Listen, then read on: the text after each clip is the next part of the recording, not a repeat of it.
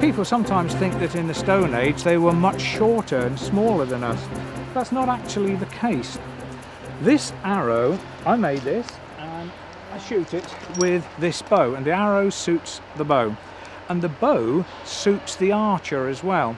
Somebody who makes bows would be able to look at that bow and say that's made for somebody between six foot three and six foot six in height because if it's too short for the person they pull it back too far and the limbs bend too much and it breaks if it's too long for the person it's not very efficient so we can say that that's definitely made for someone between 6'3 and 6'6 so just short of two meters and, and I'm about six foot four, 198 centimeters, something like that. So I made that for me.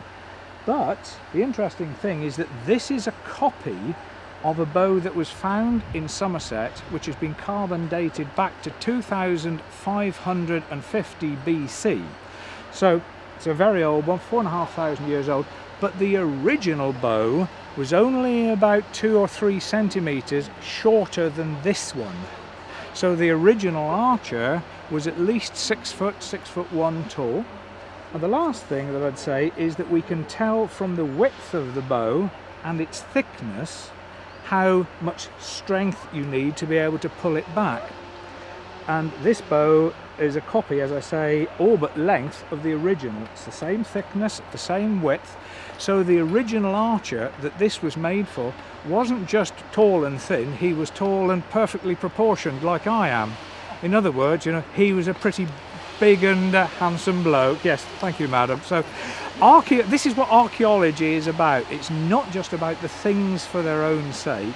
Archaeology is about what we can do to understand the people that came before us thousands of years ago. And so what I've tried to do here by making the arrowhead and, and talking about the bow and arrow is to give an understanding of how our distant ancestors lived in Britain some five or six thousand years ago.